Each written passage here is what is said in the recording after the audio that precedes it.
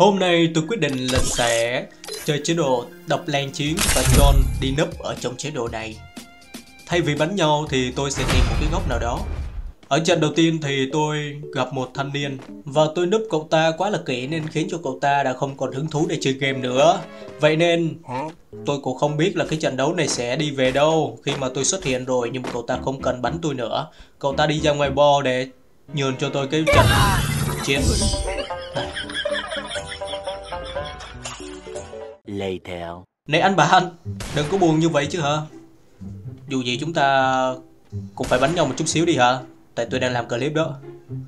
Anh bạn cứ làm như thế này thì clip của tôi toàn á. Còn đúng một máu luôn, nhưng tôi vẫn win các bạn. Và sau đó thanh niên này out luôn. Sau đó tôi quyết định lấy cái kỹ năng của Tarujisha. 2000 years later. Núp là nhiệm vụ ưu tiên Vì ngày hôm nay chúng ta đã được giao cái nhiệm vụ này Vậy nên tôi sẽ đi núp cái thanh niên bên kia. Tôi sẽ đi ngồi xuống Để không phát ra âm thanh Và sẽ quan sát cái thanh niên kia. Thanh niên kia là đang chơi nhân vật machine à, Nó đang chạy qua đây các bạn. Không biết nó có vô đây không? Ui ui ui hình như chạy vô đây các bạn. Nó nó nói thấy tôi rồi. Tôi phải vào bắn nó anh em ạ Chứ không thể nào mà kiểu giống như cái ván trước là chỉ có chạy thôi vì chỉ có chạy thì nó sẽ không còn nghĩ là tôi, kiểu ờ, bắn đâu nên nó sẽ out game, giống như cái thanh niên lúc nãy. Vậy nên tôi sẽ ra bộ bắn thanh niên này, xong tôi đi núp nha các bạn.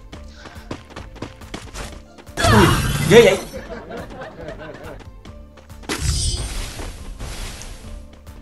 Cũng không ngờ là thanh niên bên kia bắn khá là hay.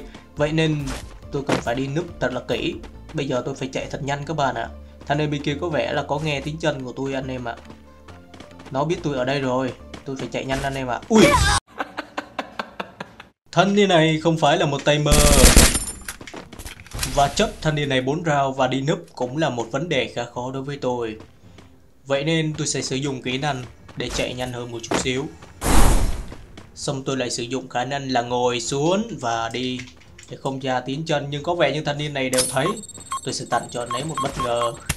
Anh ấy đã bị choán rồi và anh ấy có thấy tôi hay không? Có vẻ như anh ấy không thấy tôi tôi sẽ quyết định qua đây. Bây giờ tôi sẽ ngồi ở đây và chờ thanh niên kia làm cái trò chống gì ở đây. Ây da, tại sao lại biết tôi ở đây thế nhở? Bây giờ tôi phải chạy đồng lòng để quần thanh niên này. Có vẻ như cậu ta biết tôi ở đây. Cậu ta không phải là một tay mơ đâu. Cậu ta là một người có kỹ năng đấy. Tôi không biết cậu ta có túi biết tôi ở đây không. Nhưng tôi di chuyển đều không ra tiếng chân. Vậy nên tôi nghĩ cậu ta đã không biết tôi ở đâu và mất đi vị trí của tôi rồi. Bây giờ cậu ta chỉ còn chạy vòng vòng và tìm tôi thôi. Điều này khá đúng ý của tôi. Cậu ta làm gì ở trên cái thùng container đó nhỉ? Ui da! Bây giờ cái bo đã thu hẹp quá rồi. Chắc chắn cô ta sẽ thấy tôi. Và tôi cũng phải giả bộ, Làm cái gì đó giống như là đánh cậu ta Để cậu ta có thể bắn tôi. Đây là rau đấu cuối cùng rồi. Hãy cố gắng làm tốt nhiệm vụ của mình đi. Vì sau rau đấu này, tôi sẽ xử lý cậu ta. Giống như một mối thịt bò ở trên bàn ăn vậy thôi. Ui, bắn đầu thế nhờ nhưng mà tôi sẽ không bắn lại và tôi chỉ chạy thôi. Tôi đố bạn tìm được tôi đấy. Có vẻ như cậu ta biết tôi ở đây. Vậy nên tôi sẽ chạy quần qua bên này vậy. Tôi sẽ ra bộ bắn thanh niên này và chạy. Hay đấy. Nhưng mà cậu chạy qua đó thì tôi chạy qua đây. Chúng ta làm gì được nhau đâu. Tôi vẫn chưa sử dụng đến quả keo nào. Lần này cậu ta đã ta lại tiếp tục chạy giống như tôi thôi. Tôi sẽ giả bộ bắn vì combo đã bắt đầu thu lại rồi. Nhưng mà chắc chắn tôi sẽ không kéo vào đầu cậu ta và tôi chỉ phải vẫn chạy loanh quanh thôi. Để chôn cậu ta và sau đó lật kèo. Không biết có lật kèo được không thì cậu này bắn cũng khá hay mọi người ạ. Tôi sẽ núp vào góc này, không được à ok.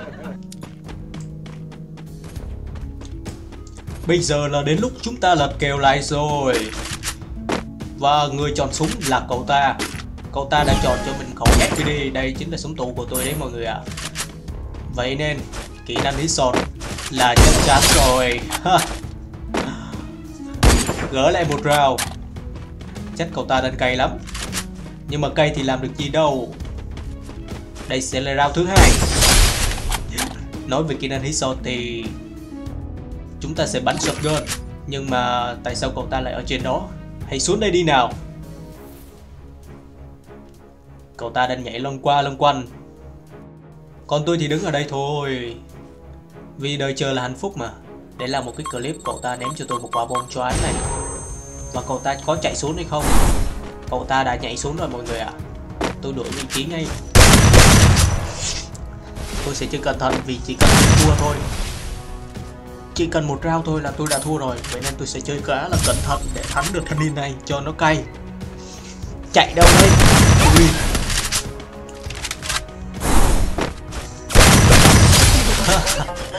Cậu ta đã thua tôi rồi. Ba round, Còn hai round nữa. Lần này thì đổi lại vị trí. Tôi ở bên trên, còn cậu ta ở bên dưới.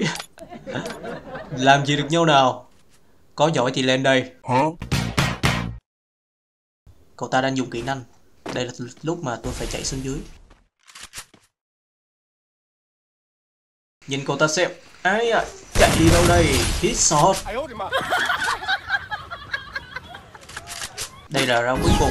Hai bên sẽ được lựa chọn súng theo sở thích của mình. Tôi chọn một khẩu AW và một khẩu shotgun. Cùng với đó là một khẩu DE và một cái nắm đấm. Cậu ta ném cho tôi một quả bom băng rồi. Bây giờ tôi chỉ việc đợi cậu ta đi qua đây thôi. Cậu ta dính bom băng của tôi rồi, chỉ cần một viên Adup là cậu ta sẽ chết. Ui! Cậu ta cũng bắn Adup và bắn chúng tôi. Một viên rồi mọi người ạ. Bây giờ tôi cần phải giữ một quả đầu lạnh. Tôi sẽ cho tên này thua một cách cay đắng chạy thôi mọi người ơi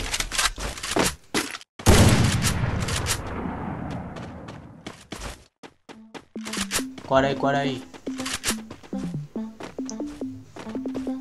à chạy vô đây chạy. Vậy là tôi đã thành công cho được cái thanh niên này. Sau 4 round đi núp thì tôi đã gỡ lại 5 round. Cảm ơn các bạn đã xem clip nhớ bấm like, subscribe nha.